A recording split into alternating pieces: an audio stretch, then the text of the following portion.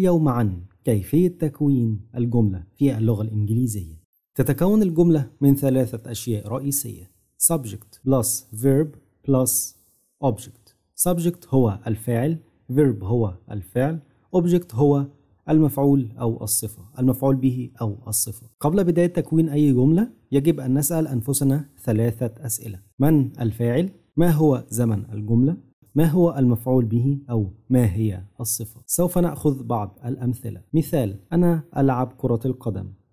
أنا في العادة ألعب كرة القدم فأقول I هو الفاعل. نسأل أنفسنا ثلاثة أسئلة. من الفاعل؟ الفاعل هو أنا. فيكون I. ألعب فعل مضارع. فيأتي الفعل في المصدر هو play. play بدون أي إضافات. ماذا ألعب؟ أنا ألعب كرة القدم. فكرة القدم مفعول به. فأقول football. I play football. I play football. نأخذ مثالا آخر.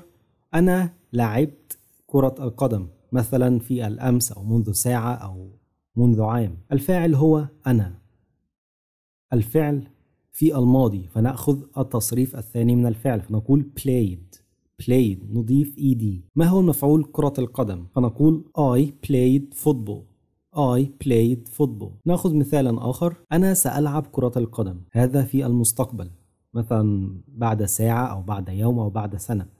فسأقول I هو الفاعل. سألعب في المستقبل. فأقول will play. will play. I will play football. I will play football. وبهذا انتهينا من الأوبجكت كمفعول به. دعونا نتكلم عنه كصفة. مثل أنا سعيد. أنا سعيد. فأقول أنا سعيد. الفاعل هنا هو I أنا.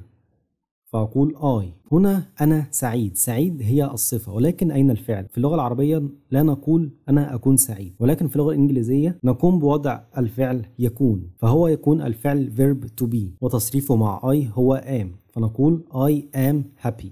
I am happy. فهنا الجملة تكون مكونة من ثلاثة أشياء. I هو الفاعل am هو الفعل. Happy هي الصفة أو object. نأخذ مثالا آخر. أنا كنت سعيد. أنا كنت سعيد.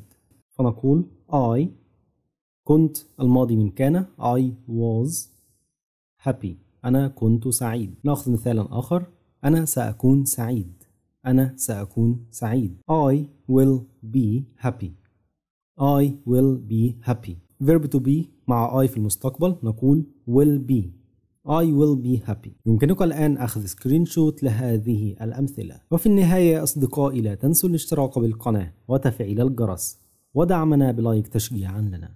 والسلام عليكم ورحمة الله وبركاته.